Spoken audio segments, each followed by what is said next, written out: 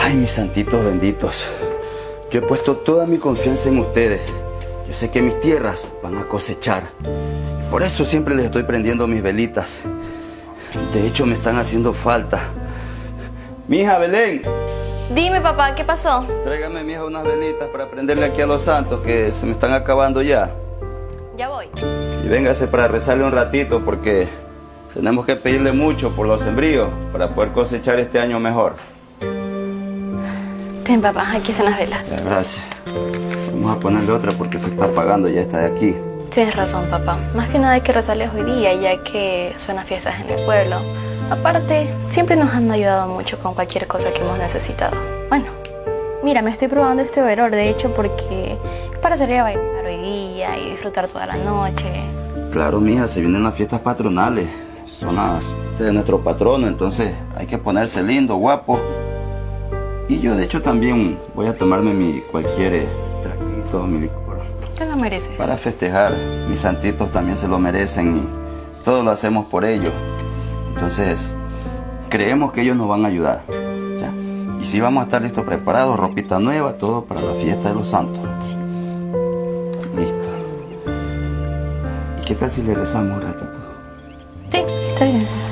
Ay, mis santitos, en este día pues vamos a trabajar, creemos en ustedes. Le hemos puesto la velita para que nos hagan el favor, para que nos concedan el milagro de poder cosechar mejor en este día, en este año y estar mucho mejor. También hemos ofrecido un chanchito por ahí que lo estamos criando para, para el próximo año. Gracias te pedimos, te damos las gracias. Yo creo sinceramente que eso que está haciendo mi papá, de esas imágenes, está mal. Mira, yo te voy a contar, yo ayer fui a una iglesia y déjame decirte que sentí algo que nunca había sentido en las otras iglesias donde habíamos ido. Apenas llegué ahí, sentí una paz en mi corazón, hermano, y no sé, una, una alegría diferente. Y cuando empezamos a orar, yo sentía que realmente estaba conversando con Dios directamente, no con nada, ni intercesores, nada. Pero Tito, ¿qué estás hablando tú? Hermano, por favor, no te dejes el cerebro. Piensa bien lo que estás haciendo, lo que estás diciendo. ¿Cómo vas a ir a una iglesia así por la nada tú? O sea, vas a dejar botado todo lo que mi padre nos enseñó, la cultura que nosotros adquirimos. No, hermano, no se trata de eso. Mira, yo ya sentía en el corazón que lo que estamos haciendo con mi papá es incorrecto, pero no sé cómo llegué a esa iglesia. Y déjame decirte que ahí es diferente. Incluso cuando el pastor empezó a, leer la Biblia, dijo algo que me quedó en la, en la mente muy grabado, que dice, él dijo, mi pueblo peca por falta de conocimiento. Y yo creo que eso es lo que nos hace falta. Tito, la verdad que creo que estás mal. En esa iglesia solamente se dedican a lavar el cerebro, nada más. Así que piensa bien lo que vas a hacer. ¿Cómo vas a creer en alguien que no lo ves? Por lo menos en nuestra iglesia vemos a los santitos, le ponemos nuestras velitas y escucha nuestra plegaria, por favor, Tito. Precisamente eso te quiero explicar, hermano. Yo ya aprendí que no se trata de la iglesia. O sea, la iglesia no es un lugar físico, sino que está aquí, dentro de nuestro corazón. Y también aprendí que no debemos estarle prendiendo velas ni nada a Dios como que si Él ya no existiera. Porque déjame decirte que Él está vivo, que donde hay dos o más congregados en su nombre, Él está ahí presente. Ya basta, Tito. Yo no voy a tolerar esa falta de respeto. Ya cállate, por favor. Y yo no voy a tolerar tu ignorancia. Con permiso. Bueno, vamos, vamos para afuera.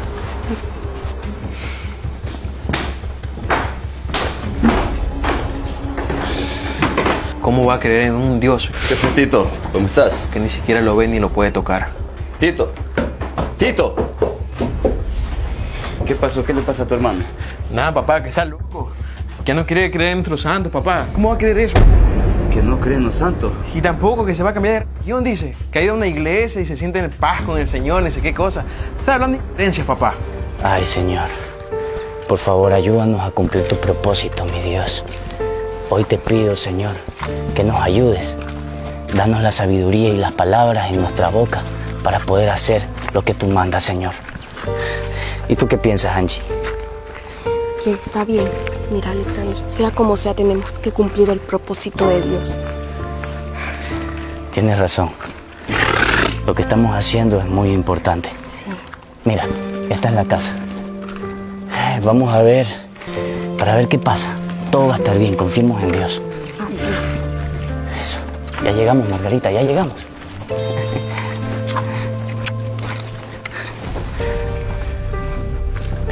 Aquí vamos. ¿Y a este qué le pasa? Si es lo que siempre le he enseñado yo a que debe de estar ahí ayudando a los santitos, prendiéndole las velas. Nosotros confiamos en ellos. Lo mismo le dije yo, papá. Pero no que dice que siente una paz en su corazón, que no es lo mismo que dijo un pastor, no sé qué está hablando él, papá. Sé dónde meter a esas iglesias de pastores. Así es, ha de ser. Pero qué muchacho es este. Él no puede cambiar la religión que nosotros le hemos metido, lo que hemos aprendido siempre de nuestros abuelos, nuestras culturas. Así se habla, papá. Yo creo que tú tienes que hacer algo. Yo tengo que hablar con él.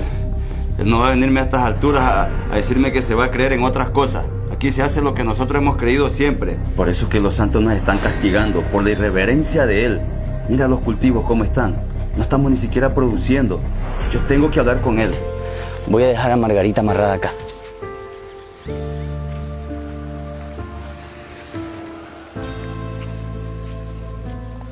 Buenas, Hola, patrón. dígame. ¿Cómo estás? Buenas. Buenos días. ¿Qué se le ofrece? Mire lo que pasa, me da mucha pena decirle esto. Nos acaban de botar de la hacienda en donde trabajamos y no tenemos dónde ir, solo somos la burrita, mi esposa, mi hijo y yo. Queríamos ver si ustedes nos pueden dar trabajo y si no, pues un lugar así sea en donde quedarnos, por unos días nada más. Yo creería que le podría ayudar. Aquí hay muchos lugares donde se podrían quedar usted y su familia. Pero yo no soy el dueño, tendría que hablar primeramente con mi papá.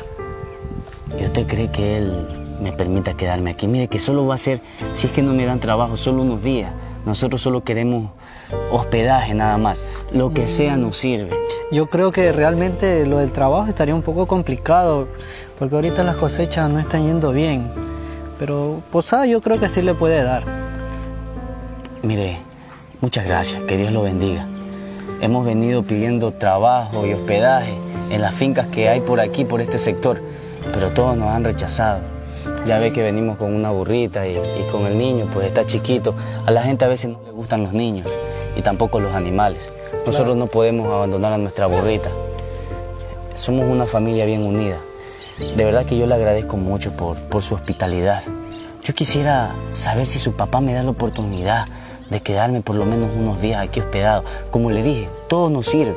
Así sea el granero, un cuartito, así sea un petate. No se preocupe, yo voy a hablar con mi papá a ver qué dice. Espéreme aquí un momento, ¿sí? Ya, muchas gracias. Muchas gracias. Mi amor, todo va a salir bien, ¿sí? Tengamos fe en Dios. Mira, escúchame. Vamos a hacer lo siguiente. Vamos a resistir todo lo que podamos. Tenemos que hacerlo. Esta prueba es grande no solo para nosotros, sino para ellos. ¡Papá! ¡Papá! ¡Papá! ¡Baja un momento, por favor!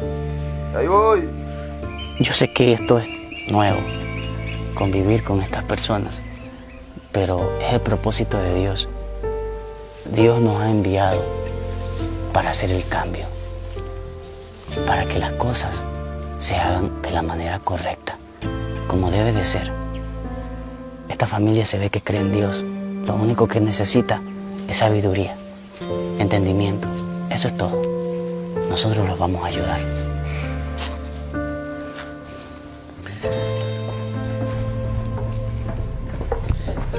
¿Qué pasó, Tito? Cuéntame, ¿qué es lo que pasa? Papá, lo que pasa es que hay unas personas ahí que están pidiendo trabajo o posada. No tienen dónde llegar. ¿Y tú te crees que esto es un hotel para poder recibir a cualquier persona que ni siquiera conocemos para que se queden hospedados aquí? No, papá, pero recuerda que tú eres muy creyente y en la Biblia dice que hay que ayudar.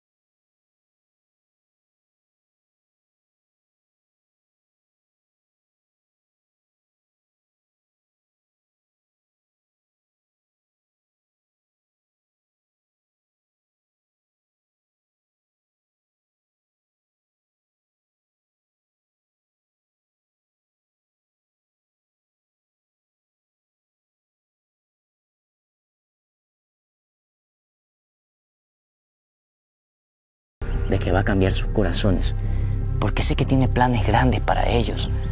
Creen en Dios, solo que el enfoque está equivocado. Eso es todo. Mira, esta familia se ve que son bendecidos. Solo le falta un pequeño empujoncito a la verdad. Eso es todo, nada más. Mira, Tito, si te quieres perder, te pierdes solo.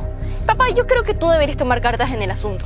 Tienes razón. Yo mismo voy a solucionar esto y voy a sacar a esa gente de aquí. Papá, no, espera, por favor, hermanos, escúchenme. ¿Verdad? ah, míralos, ahí vienen. Tranquila, yo voy a hablar, ¿sí? Tú no te preocupes de nada. Yo lo resuelvo, ¿ok? ¿Qué es lo que está pasando aquí? Yo quiero que ustedes se larguen de mis propiedades. Esto no es junta de beneficencia. Tranquilo, señor, tranquilo. Lo único que queremos es que nos ayuden. Lo que pasa es que de la finca donde trabajábamos nos votaron. Y veníamos preguntando en las otras finquitas para ver si nos ayudaban, pero nadie nos apoyó. Lo único que queremos es que nos dé posada unos días, nada más, eso es todo. Pues llegaron a la finca equivocada. Aquí no damos posada a nadie, ni mucho menos alimento. Son tres bocas. Nosotros no pedimos comida, solamente posada. Ayúdenos, por favor, ya hablamos con su hijo. Él se ve que es una persona que cree en Dios y ustedes también. No, señor. Mi hijo es el que le ha escuchado a usted, pero nosotros no queremos nada de lo suyo. Sus palabras que le ha venido a meter a él. Nosotros creemos en los santos. Mire, le voy a decir algo, y está bien, solo quiero que me escuchen nada más. Las personas que aparecen en la Biblia, las personas que fueron parte de la historia de Jesucristo y antes de Jesucristo, fueron personas muy importantes, fueron personas usadas por Dios, personas glorificadas,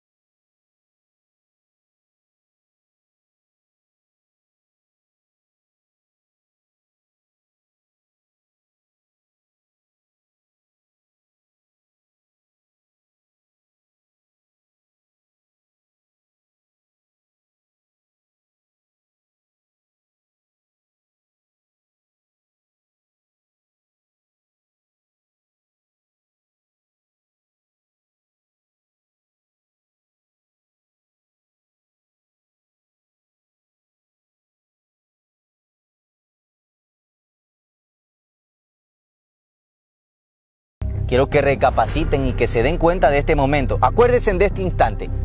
Los hombres no tienen el poder que tiene Dios. Dios es único. Recuerden eso. Mire, señor, ya retírese. Yo mis dioses los tengo allá en mi cuarto y les acabo de prender la vela, porque a ellos sí los veo y hasta los toco. ¿De qué Dios me está hablando? Del Dios, del Dios que usted no tiene que rezar, porque a este Dios usted no tiene que repetirle una y otra vez cualquier oración. Usted tiene que hablar con Él como un amigo. Usted conversa con Dios. Eso se llama orar.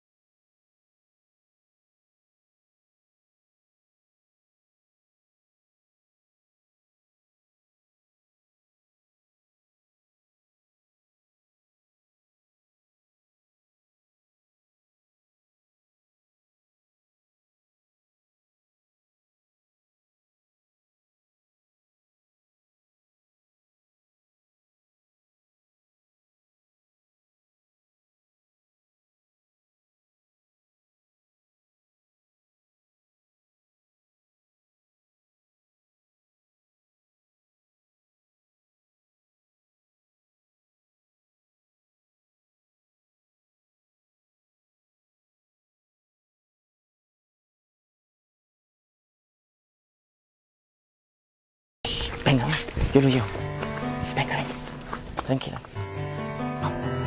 Y bueno, mi hermano, así como te decía, a veces los seres humanos se confunden con las cosas que, que pasaron en el pasado, pero son cosas que debemos de entender. No debemos de confundirnos. La palabra de Dios es para que nosotros tengamos entendimiento y comprendamos que el único Dios es el que está arriba y Él está vivo. Él siempre está con nosotros. Es por eso. Y no quiere decir con esto que la religión, No, por aquí, eh, sea- eh, esta religión sea la elegida o la otra sea la indicada. No, en realidad, todas las religiones que hablen de Dios están bien. Lo único es que el enfoque siempre debe de ser hacia Dios. La creencia debe de ser hacia Dios. Porque Él es el que hace los milagros, Él es el que da los dones.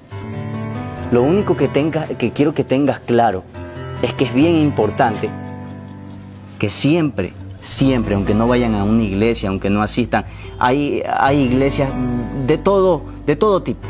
Pero lo más importante es que tu iglesia la mantenga sana. Esta es tu iglesia, tu cuerpo. nosotros también somos seres trinos. ¿Comprende? Porque nosotros somos semejantes a Dios, somos iguales que Dios. Somos unos dioses más pequeños, más pequeños que Dios. Somos mini dioses. ¿Qué quiere decir esto? Que nosotros tenemos cuerpo, alma y espíritu. Entonces, es, es como se divide nuestro Dios. Dios, nuestro Padre Celestial, el Hijo, que es Jesucristo, y el Espíritu Santo. Cuando el Espíritu Santo te toca, es algo increíble, que dentro de ti hace cosas estupendas, maravillosas. Hay algo muy importante también, que la sangre de Cristo tiene poder, recuerda eso. Eso yo escuché, como le digo, en esa iglesia que yo acudí. No sé ni por qué llegué a ese lugar, pero desde que pasó algo terrible con nuestra madre, yo empecé a dudar del poder de esos supuestos santos. Porque, no sé, realmente en mi corazón yo sentía que no era lo correcto. Y déjeme decirle que en esa iglesia yo escuché una palabra que dijo que mi pueblo peca por falta de conocimiento. Y yo creo que eso es lo que tiene mi papá y mis hermanos. Tienes razón. Y todo eso se va a arreglar. No te preocupes. Que todo eso lo vamos a arreglar. Y todo Dios lo tiene solucionado. Él tiene un propósito para todos nosotros. Y si hoy estoy aquí, no es coincidencia, mi hermano. Oye, papá, mira, ese no es Tito que llevó a las personas que tú votaste al corral. Eh, mira, tu papá se dio cuenta. Vienen para acá de nuevo. No puede ser, este Tito es un sinvergüenza. Me trajo esta gente aquí. Yo voy a arreglar eso ahorita mismo. Vamos, vamos. No importa, tranquilo, no te preocupes. Si nosotros tenemos que irnos, está bien. Pero solo quiero decirles la última cosa. Señor, por favor, permite que ellos vean la señal que necesitan. Quieren ver tu señal divina, mi Dios. Quieren ver que tú eres grande y poderoso. Dale a estos incrédulos, Señor, la prueba que necesitan para creer en ti y para alabarte solamente a ti, Señor. Que quede claro esto. Yo Sí, no, tranquilo, yo no tranquilo. quiero que crean que yo los estoy metiendo en una religión o en una iglesia. No, lo único que quiero es que le den la gloria a Dios, porque la gloria es para Dios. ¿Me escucharon? Así es. Ya, muy bien. ¿Cómo es posible? Yo no puedo creer que Tito traiga a estas personas aquí a esconderlas al corral. Tito, ¿qué es lo que te pasa a vos? Tranquilo, ¿Qué a esta gente aquí? tranquilo, tranquilo, señor. Eh, por favor, no se enoje de esa manera. Mire, él solo tiene buenas intenciones y eso es todo, nada más. Pero antes de todo, mire, yo quiero, quiero demostrarle algo. Usted pidió pruebas y pruebas va a tener. ¿Qué pruebas me tiene? A ver. Mire, yo tengo esta palabra de aquí. La sangre de Cristo tiene poder. Hebreos 9:12. Esta palabra es tan cierta y es tan verdadera porque tanto como usted y como yo sabemos que Jesucristo se sacrificó por todos nosotros. He aquí la prueba. Y esto no es para alabarlo. Esto no es para decir y prenderle una velita, no. Esto es en representación de que Dios ganó la guerra. Ganó la guerra. Y nosotros por eso somos salvos. ¿De qué guerra me está hablando?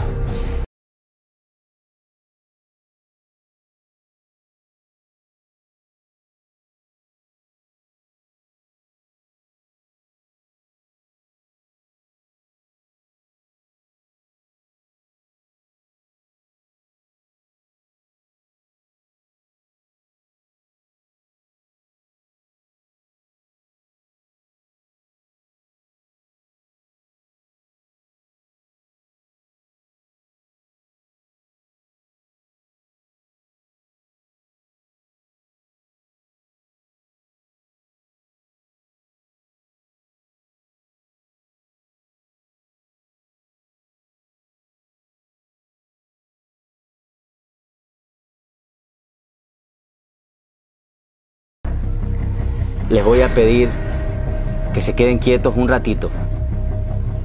¿Qué es que eres? ¿Mago o qué? No, para nada. Simplemente voy a pedirle a Dios que les demuestre que Él existe. Señor, tú que estás en los cielos, mi Dios, te pido, Señor, que le des la señal que estas personas necesitan para que ellos vean que tú eres grande y poderoso y que eres solamente tú al que se le debe de pedir. Señor, regrésanos para que ellos se den cuenta que tú eres grande y poderoso, mi Dios. Papá, ¿Qué fue eso? ¿A dónde se fueron? ¿Qué hicieron? Ese tipo. mira, date cuenta. Él era realmente un enviado de Dios, que es todopoderoso. Porque los santos no pueden hacer eso, papá. Mira, yo los invito.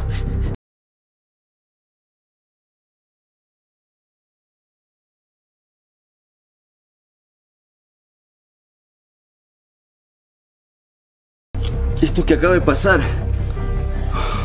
Tal vez es no- tan real. no tenga razón. Sí, papá. nunca haría algo así. Por favor. Verás que si nosotros ponemos la confianza plenamente en Dios, todo nos va a ir bien, porque Él es un Dios de poder. Él es el dueño de todo lo que tú ves aquí, papá. Solo te invito a que empecemos juntos como familia a leer la palabra y ahí vamos aprendiendo. Bueno, hijos, empecemos a estudiar este libro. A ver qué nos tiene, a ver qué aprendemos y... Bueno, es hora de cambiar, creo, ¿no? Sí, por favor, papá. Lo primero que hay que hacer es deshacernos de todas esas imágenes que tenemos. Vamos a empezar. Vamos, por favor, papá. Vámonos. Hermano.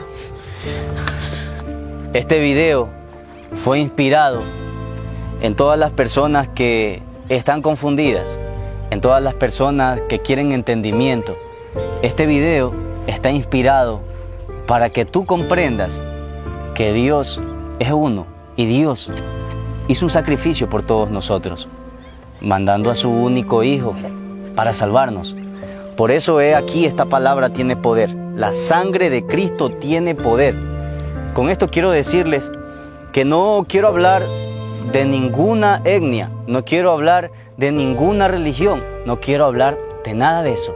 Lo único que quiero decirte y dejar claro en este video es que cuando vayamos a pedir algo que sea que se lo pidamos a Dios, que se lo pidamos a Él en el nombre de Jesucristo y te vas a dar cuenta que tu vida va a cambiar de una manera increíble.